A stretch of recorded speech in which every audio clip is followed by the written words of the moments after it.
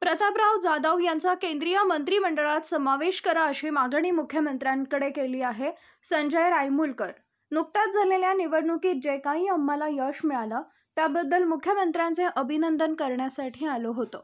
बुलढाणा येथून प्रतापराव जाधव हे चौथ्यांदा विजयी झाले. मनी तीन टर्म आमदार व दोन टर्म खासदार म्हणून त्यांनी काम केलंय. केंद्रीय मंत्रिमंडळात समावेश करण्यात यावा अशी मागणी करण्यासाठी मुख्यमंत्री एकनाथ शिंदे यांची भेट घेतली आहे काय कारण? नुकत्याच झालेल्या लोकसभेच्या निवडणुका त्याच्यामध्ये जे काय आम्हाला हे संपादन केलं मिळाले त्या संदर्भात मुख्यमंत्री महोदयाचे अभिनंदन करण्यासाठी आणि जिल्ह्यातील आमचे सर्व शिवसेनेचे तिन्ही जिल्हाप्रमुख सर्व उपजिल्हाप्रमुख सर्व तालुका प्रमुख त्यांना घेऊन त्या साहेबाच्या भेटीसाठी त्यांचं अभिनंदन करण्यासाठी आम्ही जिल्ह्यातले पदाधिकारी या ठिकाणी आलो होतो. आणि तर माननीय खासदार सलग म्हणजे तीन टर्म बुलढाणा मेकर मतदारसंघाचं नेतृत्व आमदार म्हणून त्यांनी केलं.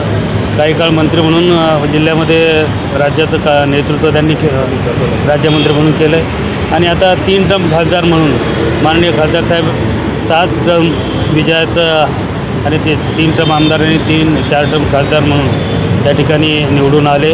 आणि आम्हालाही अपेक्षा आहे किंवा विदर्भातून आपल्या शिवसेनेचे एकमेव खासदार त्या ठिकाणी निवडून आले.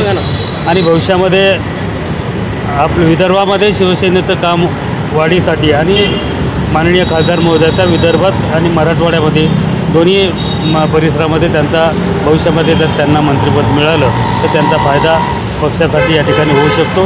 म्हणून हा एक विनंती करून आम्ही त्यांना माननीय खासदार महोदयाला मंत्रिपद देण्याची मागणी या ठिकाणी केली.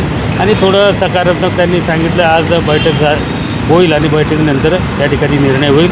आणि आम्हाला सर्व जिल्हावासियांना अपेक्षा आहे की निश्चित माननीय खासदार साहेबाला मंत्रिपद या ठिकाणी विस्तारावर मिळेल ही अपेक्षा आहे निश्चित आम्हाला आहे. धन्यवाद.